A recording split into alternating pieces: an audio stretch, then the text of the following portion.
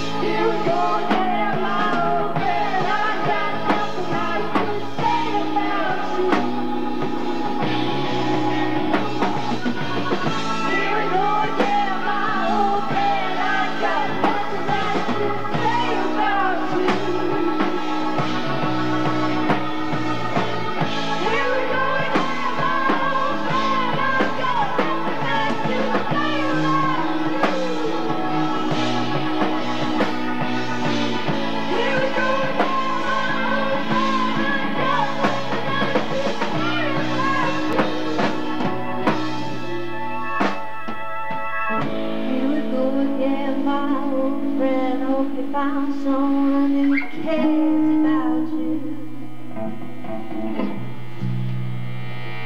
about you.